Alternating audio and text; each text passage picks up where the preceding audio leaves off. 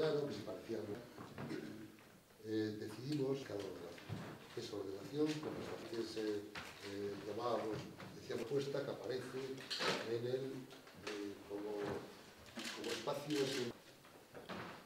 las, estas unidades mismo en estos mínimos serán fruto de la asociación voluntaria de los. Los objetivos pues, eh, son tres básicamente.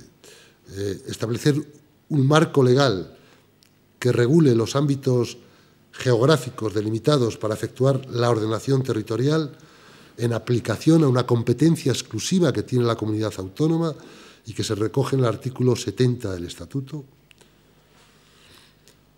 Un segundo objetivo sería estructurar los servicios que presta el gobierno de la comunidad autónoma eh, de acuerdo con este nuevo modelo territorial, también en aplicación de unas competencias exclusivas estatutarias.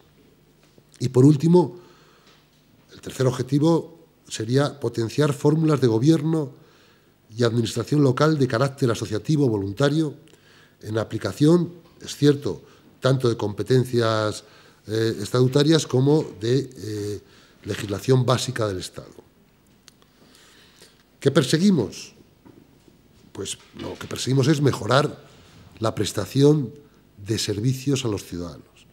Yo creo que, estamos perdiendo de vista el objetivo fundamental, que es hacer la vida más cómoda y más sencilla al ciudadano, quitarle burocracia y prestarle mejores servicios. Este es el objetivo básico del proyecto de ley de ordenación.